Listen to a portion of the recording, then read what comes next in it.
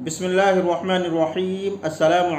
वरहमतुल्लाहि वबरकातुहू। मुहर्रमुल हराम का महीना आने वाला है। मुहर्रमुल हराम वो महीना है जहाँ से कमरी साल, हिजरी साल, जिसे इस्लामी साल कहते हैं, उसकी शुरुआत होती है। यानी मुहर्रमुल हराम इस्लामी साल का, हिजरी साल का पहला महीना कहलाता है।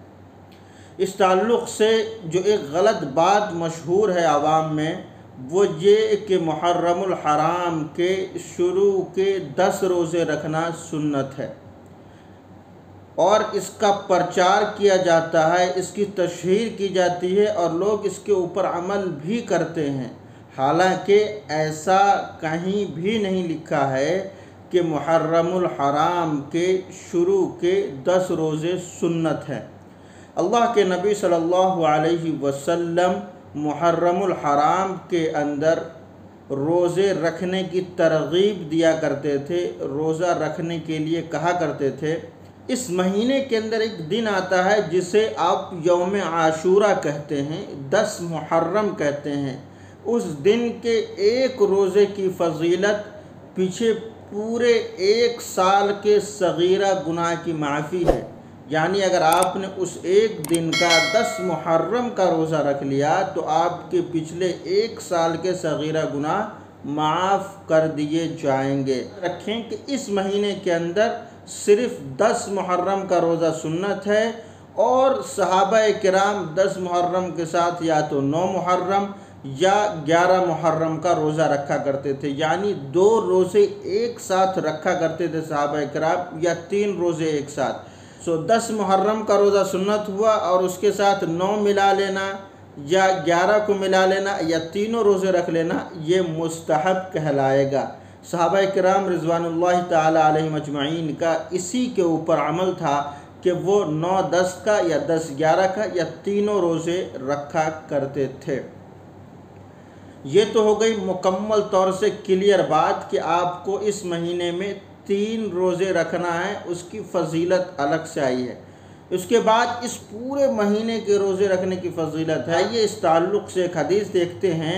अन अबी हुरैरत रसी अल्लाह तन सुईला रसूलुल्लाह सल्लल्लाहु अलैहि वसल्लम अयुस्सलाति अफजल बादल मकतूबा, व अयुस्याम अफजल बाद शहरी रमज़ान। अल्लाह के नबी सल्लल्लाहु अलैहि वसल्लम से सवाल किया गया कि कौन सी नमाज़, फ़र्ज़ नमाज़ के बाद बेहतरीन है, सबसे अफजल है? और कौन सा रोज़ा रमज़ान के महीने के बाद सबसे अफजल है? फ़क़ाल अफजलसलाती बाज़लातमकतूबती असलातु फ़ी जौफ़िल्लैल व अफजलसियामी बाद शहर रमज़ान सियाम शहर मुहर्रम।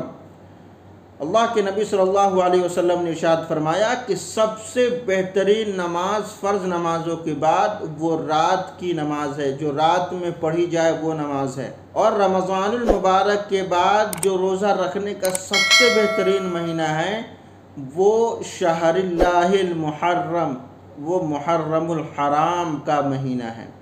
लिहाजा इस हदीस से साबित हुआ कि आप पूरे मुहर्रमुल हराम में किसी भी दिन का रोज़ा रख सकते हैं, पूरे मुहर्रम का भी रोज़ा रख सकते हैं, कोई मसला नहीं, कोई हरज नहीं। मैंने कई वीडियोस के अंदर बताया है कि इस्लामी तालीमत ये चाहती है कि आपको जिस दायरे में रखा गया है, आपको जो चीज़ें बताई गई हैं, जिन चीज़ों को डिफ़ाइन कर दिया गया है, बस उतनी ही आप हद में रहें।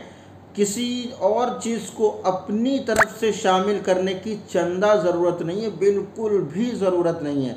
लिहाजा मुहर्रमुल हराम के दस दिन ख़ास कर देना, ये सरासर बिदात है। लिहाजा आप मुहर्रमुल हराम के पूरे महीने चाहें तो रोज़े रखें, या जितने दिन अल्लाह रब्बुल इज़्ज़त आपको वसत देता है, उतने दिन के रोज़े रखें। जितनी हिम्मत है आप में, उतने दिन के रोज़े रखें। और ना हो तो कम से कम वो दो या तीन रोज़े, जो नौ, दस या दस ग्यारह, या तीनों नौ, दस ग्यारह, ये रोज़े ज़रूर रखें। उसकी बहुत बड़ी फजीलत आई है। अल्लाह रबुल्ज़त हम सबको अमल की तोफ़ी अदा फरमाए, इस क्लिप को शेयर भी करें। मुझे अपनी खसूस दुआ में याद रखें। हमारे चैनल को सब्सक्राइब करने के बाद जो साइड में बेल का आइकन आ रहा है, उसको ज़रूर प्रेस कर लीजिए, ताकि आपको आने वाली हर मुफीद मालूमती वीडियोज़ पहुँचती रहे। वालकम वरहमल वर्का